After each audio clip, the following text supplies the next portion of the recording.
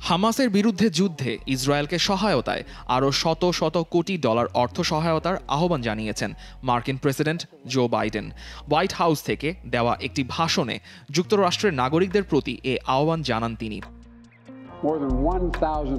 বৃহস্পতিবার প্রচারিত এ ভাষণে বাইডেন বলেন হামাজ ইসরায়েলের গণতন্ত্রকে নিশ্চিহ্ন করে দিতে চায়। শুক্রবার ইসরায়েলের জন্য অতিরিক্ত অর্থায়ন অনুমোদনে কংগ্রেসে প্রস্তাব তোলার কথা বলেন Biden.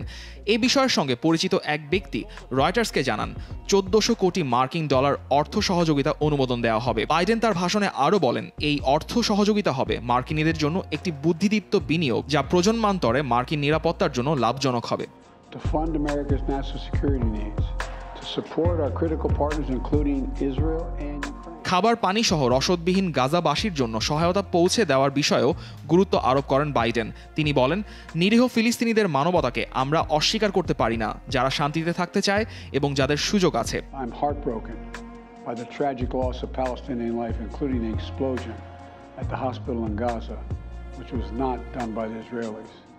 We mourn every innocent life lost.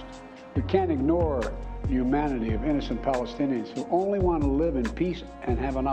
এদিকে গাজা সীমান্তে সেনাবহর এবং অস্ত্র সরঞ্জাম জড়ো করেছে ইসরায়েল। ইসরায়েলি প্রতিরক্ষা মন্ত্রী বৃহস্পতিবার সেনাদের উদ্দেশ্যে বলেন, আপনারা এখন দূর থেকে গাজা দেখছেন। খুব শীঘ্রই ভেতর থেকে দেখবেন। আদেশ আসবে।